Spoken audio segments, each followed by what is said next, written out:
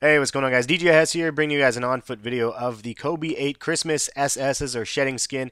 And I wanted to show you guys these on foot. I think these things look crazy and, and even better on foot in my opinion. I also wanted to show you guys two different versions of this shoe. One with the gold and black laces as you can see here, and one with the black laces and the uh, lace lock. So we'll give you guys a little bit of different dynamic of looks. Uh, don't pay attention to my jeans. I know I'm sorry they're not skinny jeans. I just can't rock with a skinny jean thing. Uh, but uh, these things are nuts, man. The scales on this thing is crazy. And one thing that I uh, noticed when I was unlacing the shoe is it actually kind of separates between the regular material and the plastic or uh, rubber upper. Uh, there's a little thin, like, so it is kind of like it's shedding in, in a sense, which is kind of neat. I thought that was kind of interesting.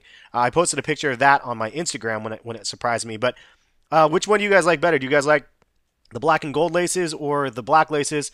Uh, and you guys like the lace lock on the shoe. I personally like this look the best with the black uh, and gold lace, no lace lock, just the black and gold lace. And I really, really do think these things look great on feet. Uh, leave a comment, let me know if you guys actually like them on feet or not.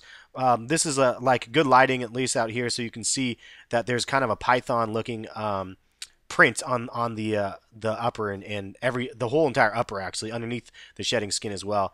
Um, it's the same print as what's on the tongue. But uh, hopefully you guys like this uh, this little on foot video. Check out the full review again. I'll put a link of it in the description.